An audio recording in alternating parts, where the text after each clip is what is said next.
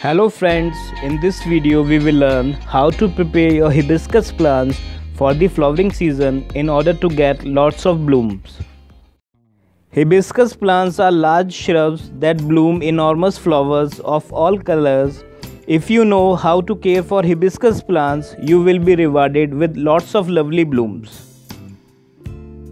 To get lots of blooms, first Remove all the unwanted plants from the pot as they tend to suck up all the essential nutrients from the soil. Now remove the top 2 to 3 inches of the soil from the pot.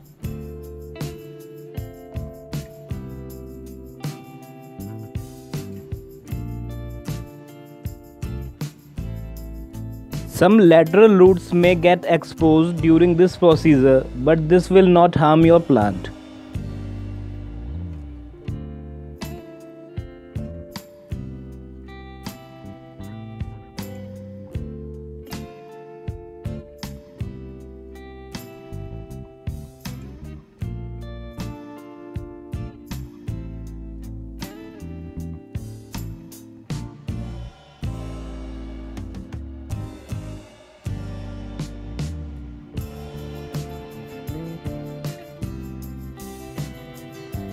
For the potting mix, take 30% native soil and 70% organic compost. In organic compost, you can take leaf compost, vermicompost, or decomposed cow dung. Mix it well. This mix will provide macronutrients to the plant and will help the plants to produce lots of blooms. Fill the pot with the prepared potting mix.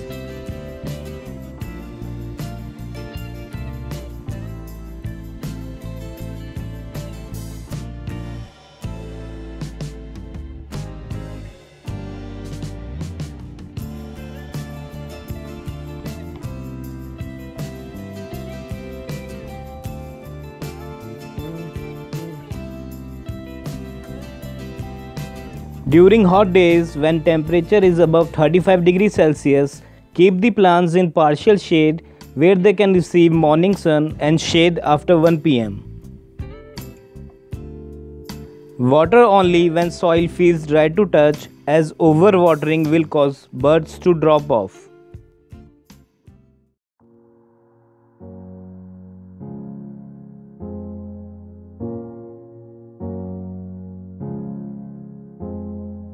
Perform the same steps or procedure with your hibiscus plants and get lots of blooms easily.